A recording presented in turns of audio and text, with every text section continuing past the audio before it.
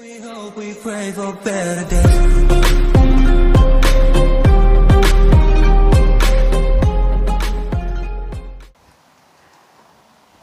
Now, this was a very difficult time for him because he was sent there.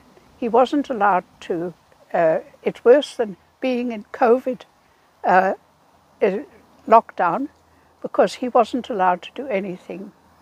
And it was took about three years before somebody asked him to give uh, sermons in German to the German uh, congregation in Milwaukee. And from then on, he was able to have contact with people.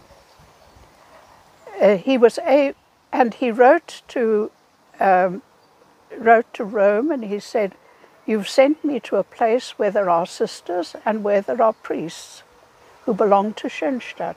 What am I to do? I don't want to tell people I'm not allowed to speak to them because I, I wait till that's gone." Uh, he didn't want to expose what had happened. He didn't want people who loved him to suddenly find out what the church had done to him. So he just treated people normally. He treated the sisters normally. He treated the fathers normally. And uh, gradually, lots of people came to love him. He never told them that he was the founder of Schönstatt. But of course, people began to come and get their advice from him, get their help from him, and to come with him not only with their troubles but also with their joys. And when I was in Milwaukee, that's a good 10 years ago, one of the loveliest things about it was that I found how human Father Kentenich was.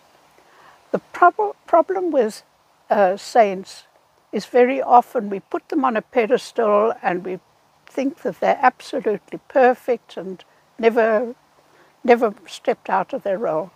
Father Kentenich wasn't like that. He was absolutely normal and he could laugh with the people.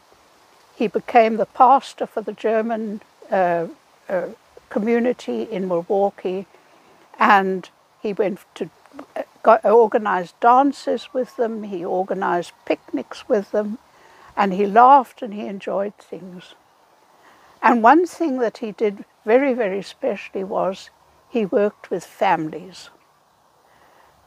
Children loved Father Kentenich. They just uh, enjoyed being with him. They were very natural and um, I mean, one little boy came and put his father's hat on his head, and uh, he said he was going to be like father, and everybody enjoyed it. And father went to the homes of the people, and he uh, just lived with them and shared their life with them. And gradually, he led them, of course, to the shrine. There was a shrine next to the house where he was living. And he, he led them to Our Lady, he led them to the covenant of love. And one day, one of the families said, My children want to take um, bits of the shrine home, and we want to be a living shrine. We want the shrine to become alive in our home. And Father Kentenich said, Well, that's a good idea. Try it, see what happens.